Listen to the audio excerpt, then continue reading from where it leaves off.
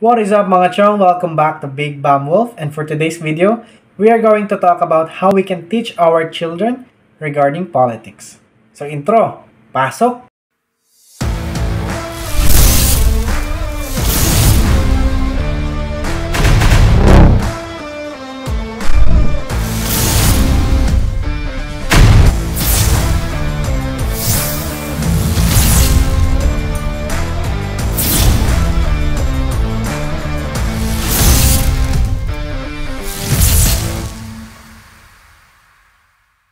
Alright, if you're new to the channel, I'm Arvin. And for 6 months, I've been doing family vlogs.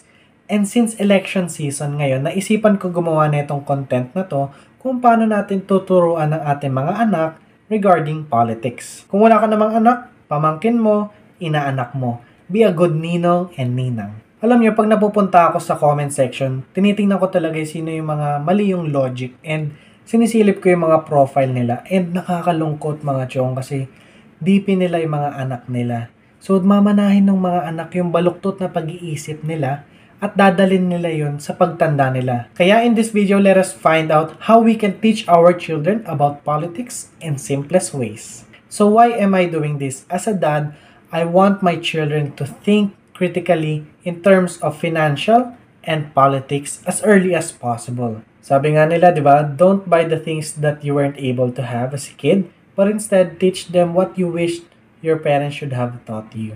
Ako nung bata kasi ako wala akong maalala na pinag-usapan namin yung politics na masinsinan and narinig ko pa nga sabi nila before is wag babanggitin yung politics sa relatives kasi it will start a fight. Sabi pa nga nila, polite conversation steers away family from discussing religion, politics, and sex. Well, if we're not talking about these topics in our family, they will be having this conversation elsewhere. But elsewhere should not be the primary source of fact.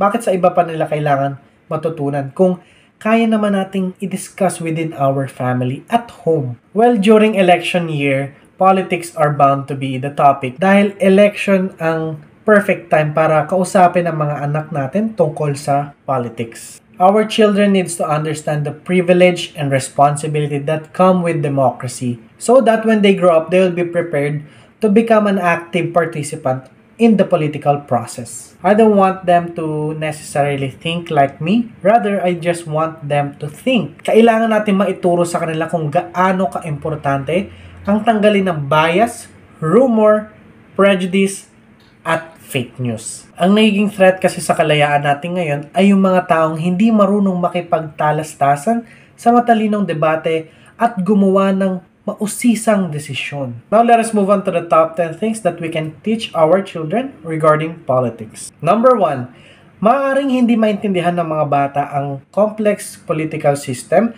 However, they are well aware with the justice and fairness. Kaya hanggat bata, maganda na maituro sa kanila na masama ang magnakaw, masama ang magsinungaling, at masama ang pumatay ng tao. Simple lang, di ba? Pero ang hindi ko maintindihan, maraming matatanda na alam ito pero suportado pa rin ang kandidatong may history ng paggawa nito. Number 2, ating ituro ano ang role ng isang presidente. Ito ay to lead the Philippines. Kailangan malaman ng mga bata na bumoboto tayo ng isang leader na tingin natin ay kayang gampanan ang mga trabaho niya. Number 3, kids need to understand that it is important to take part. Not voting and not talking about politics is a decision not to value democracy.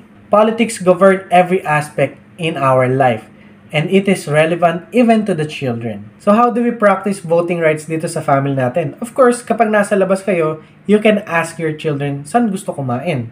Or kapag nasa bahay, tanungin kung anong family games yung gustong laruin.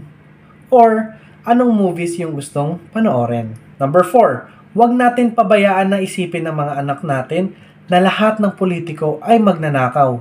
Kasi kung hahayaan nating isipin nila yon, well, ang ibig sabihin pala, ang pwede lang maging politiko ay ang mga magnanakaw. Number 5, teach them that they don't have to believe everything that they hear. They should learn the facts and formulate their own opinion. Kailangan tumatak sa utak nila na they should think for themselves. Alam mo kasi nakakalungkot, Ang dami sa ating mga kababayan na nag-give up na sa paggamit ng utak nila at sumusunod na lang sa opinion ng iba. This is not just lazy, but dangerous. Again, the greatest threat to our democracy is a voting person who doesn't think things through. Number 6, ating ituro din na mahalaga pakinggan ang bawat panig. Hindi lahat ng tao na hindi natin sinasang-ayunan ay mali. May mga points din sila minsan na kailangan natin i-consider. May kasabihan nga na narrow-mindedness is the shortest path to political oppression. Number 7. May isa akong manager before na nagsabing the cost of not asking is greater than not asking at all. Kailangan matutunan ng mga bata na kapag hindi nila alam, importanteng magtanong. The damage is greater if they become an ignorant. We're down to number 8. Never trust someone who lies, including a politician. Tao lang din naman kasi yung mga yan. Hindi dapat sinasamba. Some are smart, but some are dumb. Some are honest, but some are not. Some are brave, but others are coward. Kung ang isang politician ay kaya magsinungaling sa maliit na bagay, well, paano pa kaya sa malaking bagay? Also keep in mind when someone lies, they're not only disrespecting those to whom they lied to, but they're also revealing something of their character and what we should expect from them in the future. Number 9 ituro natin sa kanila na mahalaga sila tungo sa pagbabago. Maia-apply natin to sa tunay na buhay, hindi lang sa politika. If the situation needs to be improved, they have the responsibility to make it better. Let us tell them that the longest and toughest journey begins in a single step. Number 10. At pinili ko talaga ito na ilast dahil I cannot stress this one enough. Kailangan nating ituro sa kanila na ang privileges na na-enjoy nila ngayon ay hindi parehas sa ibang tao. Kung binagyo sa probinsya at maaraw dito sa Mandaluyong, hindi ibig sabihin na walang nasalanta sa probinsya.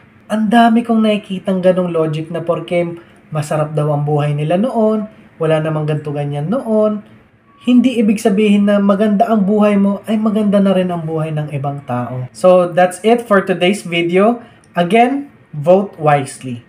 Kung may nakalimutan ako, let me know in the comment section. Thank you again for watching this video. If you're new to the channel, kindly consider liking, subscribing, and hit the notification bell. Thank you again. See you on the next one.